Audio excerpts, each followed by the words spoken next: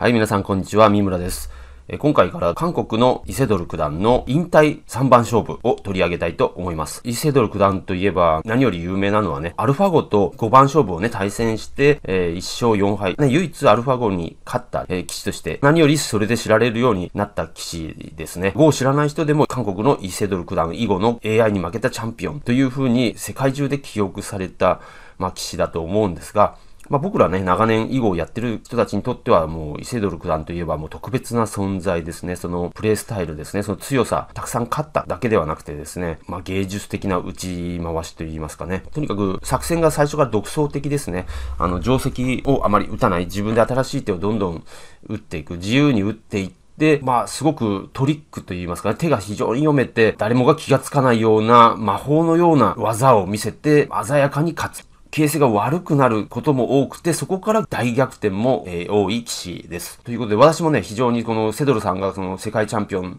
を続けていた頃には、たくさんね、彼の寄付を並べたものです。私が好きな棋士の一人と言っていいですね。その伊勢ドル九段が引退を発表したわけですね。まあ日本の棋士の感覚で言うと、すごくこれは早いです。囲碁棋士というのは、まあ70歳でも95歳でもね、あの現役で打たれていた杉内正夫九段のような例もあります。あの、特に日本の棋士というのは一度プロ棋士の資格を取ったら、あとは何歳になっても試合に参加できるということになっていますので、これは中国でも韓国でも同じかとは思いますが、今のね、時代は、まあ中国が一番強いわけですけども、中国ではもう囲碁はスポーツ。で、韓国も囲碁はスポーツであるという風になってきていますので、10代、20代のうちが選手の、まあ、強い時期であるという風になっていますね。30歳になったらもうコーチに回るとかね、コーチとか監督になるというような傾向は中国は特に強いんですけども、まあ、伊勢ドル九段も実際に15歳ぐらいから活躍を始めて、19歳ぐらいで世界チャンピオンになりましたね。それからずっと勝ち続けて、30歳ぐらいからはやはり陰りが徐々に見え始めて、まあ、中国の可決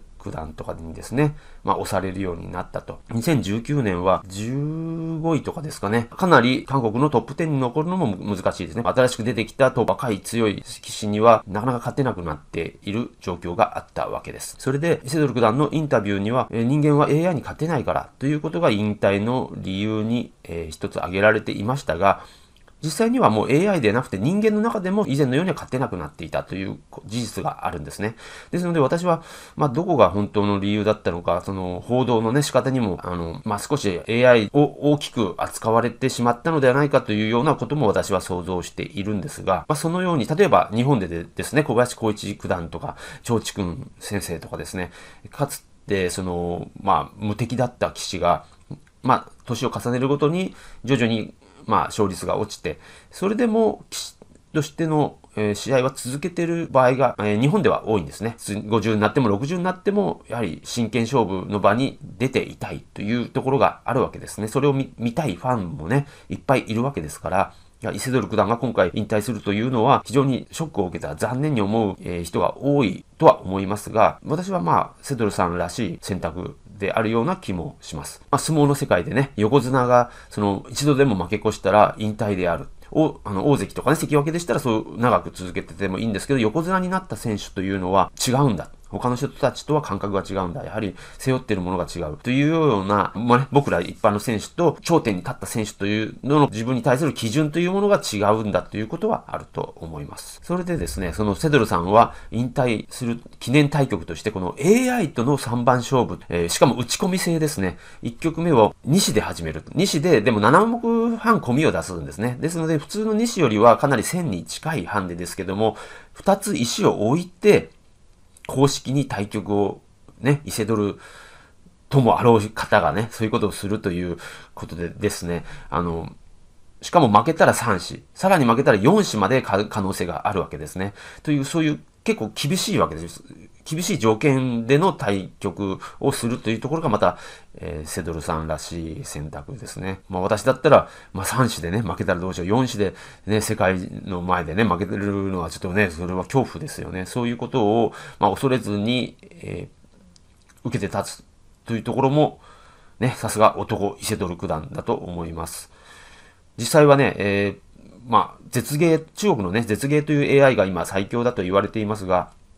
アルファ号はね、引退してしまいましたからね。それで、あの、実際中国のトップクラスの騎士たちは、西で負けることはもう確認済みですね。あの、ま、もう、西では絶芸に勝てないということはもうはっきり分かっていることですね。実際は3子でもどうなんだろう。3子で負ける可能性も私はあると思っています。その AI が最強レベルの AI かであるかがすごく問題になってくるわけですね。で、今回はあの韓国の伊勢ドル九段の引退ということで、まあ韓国で開発されているハンドルという AI を使ったわけです。これはね、やはり中国の絶芸をね、使うわけにもいかないでしょうから、やはりセドルさんとしても事情があったんだと思いますが、アルファゴとか絶芸とかのまあ、娯楽史とかですね、そのような強さの AI であるのかどうかというところがちょっと心配だったというところはあるんですけど、実際このように第1局がですね、えー、西で打たれた第1局がこのように単手数で、えー、視聴、下駄、えー、どちらを間違えたんでしょうかね。この簡単に中央で潰れてしまって、えー、終わったということで、これはね、すごく残念ですね。これで、やったセドルが勝ったっていうふうに私は喜ぶ気持ちには全くなれない、すごく残念な結果ですね。こういう風な勝負の決まり方はしてほしくなかったですね。これだけはしてほしくなかった。実際の技量でね、強さで、コンピューターのバグのような決まり、勝負の決まり方をしになってしまったことは、ちょっとが、非常に私はがっかりしたわけですね。セトルさんもがっかりしたのではないかと思いますが、まあ、この後について、えー、見ていきたいと思います。初手からいきます。AI はね、その、互い戦の後、で、しかも中国ルールで学習するのが、まあ、定石になっていますね。日本ルールの字を数えて、数える日本ルールというのは AI はどうも苦手なようですね。中国ルールでなら強くしやすいらしいです。そして7目半というね、込みが設定されているのも、やはり、え AI は常に中国ルール7目半で学習してきていますので、それがないと弱くなってしまうということなんですね。7目半をつけざるを得ないということですね。だから非常に線に近いハンデなんですけども、また西の置き子というのにちょっと慣れていない。互い線7目半で学習して強くなってきた AI は、西で打つということに慣れてない。やはりトラブルが起きやすいという事情はあったようですね。右下のこの、ね、二間高締まりに対して、ここに迫る手は、もうね、すごく定石化されていて、それに対して手の抜いた時に、ここへつけるというのも、これは最初にアルファ号が見せた手ですけども、もう完全に一般化されています。ちょっとね、過激な手に見えますが、非常に、まあ、恐怖なく打てる。不安なく、まあ割と打てるという感じでね。黒はまあ、この2子は捨て石でもいいという感じの、まあ、軽いジャブという感じですね。まあ、イセドル九段は2子でね、打つ打ったことはね、そう、もう、子供の時以来ではないかと思いますね。プロになってからは、あの、置き子を打つことはありませんので、布石をそれなりに、えー、研究してきたようですね。西の布石をね、どう打って AI に対抗するかということですね。研究してきたようです。そしてこのように、この西を、まあ、軽くね、切り込みを入れた、いつでも捨ててもいいというような気持ちで、少しね、石を増やして二間に開いて下辺をしっかりと構えました。白は3、3に振り替わります。で、かつての定石ですと、ここで繋いで一間飛びまで打って、これでもあの全く悪い交換ではありません。そしてこのように打つ方が常識的ですけども、これを保留することも可能なようですね。これは AI が示した手ですね。場合によっては、こちら側へ展開するような、まあ、含みもあるかと思いますし、まあ、実戦のように手を抜いて、ここへ打たせても、またこれで他を打てばね、打てるという判断です。まあ、白がね、手抜きを咎めて切りを打ったところで、黒は左上に構えてバランスを取りましたね。左辺をま大きくさせないというような意味合いですね。そして白は、かかりを打ったのは、まあ、右辺でね、戦いを起こすための準備ですね。動き出しました。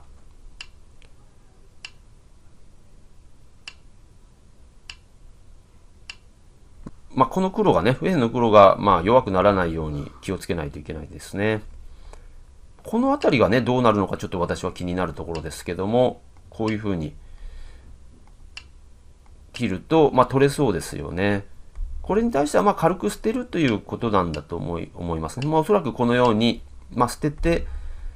ま、こちらの白を攻めて、これでまあ打てるという判断かと思います。これね、切られるのを嫌がってこういうような手を打ちますと、やはり全体が重くなって攻められることが嫌ですよね。こんな感じで閉じ込めてこういじめられるということがちょっと嫌ですので、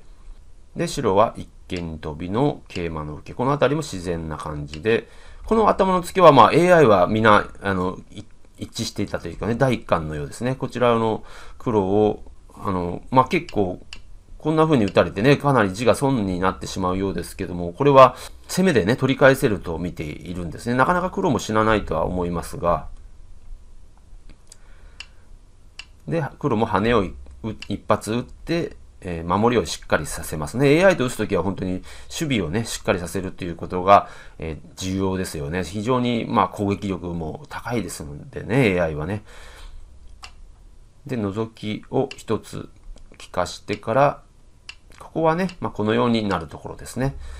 桂馬で根拠を奪います。この手は、えまあ、覗きの時からの予定されている手で、これ繋がるためにこういうふうに打ちますよね。こういうふうにこう、本来繋がる必要があるわけですけども、この時に、この覗きと繋ぎが黒はちょっと辛い利かされになっているんですね。なぜかと言いますと、こう、空き三角になってますよね。これね。あの、結構こういうの重要なんですよね。こう受けても空き三角になります。要するに黒の効率が悪くなるわけですね。まあ、この形で、今白がね、ここに覗いたとすれば必ずこの次ではなくて竹歩に受けますよね。で、ここに継がせてるっていうことは黒の、まあ、効率を悪くさせてるということになるわけです。それはまあね、セドルさんも嫌ですからコスミつけました。若干ね、ここの連絡は危ないようですけども、現在は大丈夫です。それから右上を、えー、三々にね、白はジャブを出します。これは渡りを止めるようなこういう手を打ちますと、切って、切られると、これは、あの、かなり危ない形になりますからね、上辺押さえ込みもありますので。それで、えー、抱えたのは、この切りを防いだ意味ですね。間接的に切りを防いでいます。まあ、つなぎですと、この羽を効かされますので、ちょっとこれは、ね、少し白は得になります。たりで反発をして渡らせたんですが、跳ね出すことができます。で、切って、えー、かけ継いだんですが、これをもし取りますと、あたりからこう出ると、まあ、ここが破れてしまいますから、白は外側の厚みを重視して、このように打って、こうですね。これを受けないと次に、ここに当たりとされて、こう押さえられると隅がね、逆に今度取られてしまいますので、受けが必要です。このように、まあ、白はこう、壁を強化したわけですね。この強化して隅、隅は別に取られたんですが、また下辺を利かしに行きます。この手を受けると、こういうふうに、あるいはこういうふうに利かすことができるわけですね。これはその、この手を先手にさせないぞという意味ですね。ちょっと凹んでるようですけども、そして奉仕をして桂馬しました。攻めはね、とにかくあの相手の石を封鎖することから始まりますけども、結構これはあの AI にしては攻め重視ですね。あまりこういう作戦は取らないんですが、棋風がね、あの、まあ、AI によって違いますので、このハンドルがね、その攻めのタイプなのか、ちょっと気になるところで、もうちょっと字を取っていく作戦を AI は好むんですけども、で、本局はね、イセドル九段がまあ、2章置いてるせいか、固く打っていますね。セドルさん流、セドル流のその奔放な打ち筋ではなくてね、非常に固く打っている印象があります。ただここで、えー、ハンドルがこまあ、強く攻めてきたことで、黒も反撃をします。これもね、ここをおとなしく繋がるようですと、まあ、脱出はしっかりしていますけども、今度はここがね、綺麗に取られてしまいますので、ちょっとね、黒としては面白くないところで単に押したわけですけども、そこで、これを、押しを1本決めてから、出切ってね、で、あの、決戦、ね、一気に決戦のような感じになったわけです。これで黒も右辺は閉じ込められてそんなに目もない形ですから、どこかの白をね、破る必要があります。そこで、えー、78手目のこの桂馬にかけた手が、これでちょっと白参っちゃった感じがあるんですね。この手の意味はですね、まあ、ここへ出てもらって、こうかけようということなんですね。で、これを破るためには、こう、当たり当たりとしていけば破ることはできますが、こちらへ出て、この右下の一段を取って黒が安全になる。これはもう完全に黒の勝ちになります。ということは、ここは出にくい事情がありますので、結構ね、これその不自由なんですよ。その、こちらへ行くと、この羽で、この2目が取られるのも白としては避けたい。これを取られると一気に右上の白がね、弱くなりますし、どちらも取られないようにするためには、まあ、こういう感じの打ち方をしなければいけないんですね。これで、まあ、しのぐことはできるんですが、今度はこう、まあ、このようになって、この白も捕まることはないんですけども、えこのようになって、この白とこの黒の、まあ、攻め合いのようなことになりそうです。若干黒が有利なのではないかと思うんですが、まあ、とにかくここでこのような感じで決戦になって攻め合いがどうかという感じで進んだと思うんですね。実戦は、えー、こちらへ単に出ていって押したという、これが一番最強の手ではあるんですけども、あることをうっかりうっかりって AI はうっかりとは言わないんでしょうけど、あの、まあ、ここの後数手で終わってしまうわけですね。これで、えー、この3目が逃げられないということで、もう5がここで事実上終了してしまったわけですね。この後、まあ、これ逃げないと話にならないんですけども、まあ、これは何ですかね？初、段ぐらいの方でも、まあ、ゆっくり考えれば気がつくんじゃないかと思います。ここでね、じーっと見れば、あ、これで取れるんじゃないかな。こういうふうにちょうどね、捕まってますよね。そして、こちらの黒が主張にならないかどうかの判断が重要ですけども、これは、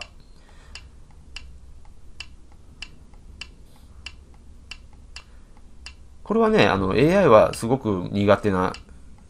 読みなんですけど、人間にとっては、あの子供でも結構間違えないです。こういうふうにね、あの左上に待ってる黒と繋がりますから、主張も、えー、黒が取られないということで、この石が取られたらもう、勝負にならないですよね。勝負にならない。ということで終わってしまったわけですね。実戦はもうちょっとこの辺り、もうちょっともう、この AI がおかしくなった時の打ち方ですね。暴走気味に打って、ここで投了しました。で、非常に寂しい終わりとなってしまったわけですが、で、なぜここで、えー、まあ普通に継がないのっていう話なんですけども、これは、こう、跳ねられた時にこの2目が助からないということなんですね。逃げると、まあこちらが必ず2回効きます。これ受けないと取られてしまいますので、そして追いかけて、ここに打つ手がうまい手ですね。これで、出ても、出ても、まあ、一回当たりはできても、こう、ね、自分が先に当たりになってしまいますから、こう、取られてしまいますよね。ですので、この時に2目が逃げられないということで、これも完全に白がハマりですね。ですので、まあ、この手によって結構、まあ、白が苦しいことは苦しいです。で、もともと西局ですから、スタート時点から黒が形勢はいいわけですけども、まあ大体評価値で、AI の評価値で言いますと、80%で始まる。あの、黒が80%優勢で始まって、ほとんどここまでの形勢は80%がずっと維持された状態での評価値。えー、形勢は、だから、セドルさんも、まあ、悪手打たずにですね、まあ非常に固く、固く打っていましたから、形勢を、えー、別に不利にはなってない状態で、そして、この中央で決戦になった時の桂馬の手に対するこの主張の読みがですね、AI が苦手だということで、主張のミスがおそらくあっての、まあ、探偵数での決着だったとは思いますが、えー、絶芸とかね、アルファ語でしたらこういうミスは、えー、出ませんので、えー、ちょっと残念なところですね。でもこれは、え、西局だから出たミスだという話もあります。互い戦で7目半というルールで、まあ対戦、自己対戦でずっと強くなっていきますので、西であるということはまた違う条件でななんですね。西で最初にね、練習を始めたんなら西の強さは、西でうまく打てるわけですけども、やはりその、そういう、ちょっと条件が、ちょっとした条件の違いで、例えば7目半の込みが6目半になっただけでも、急にこう AI というのは調子がおかしくなるところが、まあ人間にはないところですね。そういうところの違いがあっての、まあ、予測できないちょっとこういう暴走といいますかね。あの、単純なうっかりに人間的には見えてしまいますけど、こういうところが AI のこう難しいところなんですね。AI 開発の難しいところなのだと思います。ということですね、これでその私がその期待していた、あの、まあ、3子局でどうなるのかということがちょっと見られないことが確定してしまったんです。私はちょっと個人的にはちょっと残念でした。西田だとね、AI が勝つのが当たり前だという、認められています。騎士から見てもそういうふうに認められていますし、えー、2年ぐらい前でしたらね、あの、まあ、3子で、3子置いたら、あの、まあ、負けるわけがないと、まあ、誰でも思うわけですけども、実際に私がある程度、その、まあ、スペックのいい PC で、えー、AI を動かしてみてですね、3子局を自分で、まあ、打って試してみたところですね、あ、これは負けてもおかしくないっていうことが、まあ、分かったわけですね。で、私よりもはるかに、はっきり強いね、えー、トッププレイヤーが3子を浮いて、どんな風に5にされるんだろうかっていうところを私は非常に興味深くね、期待していたわけですけど、それは今回ちょっと見られないというのが決定してしまった残念な一曲でした。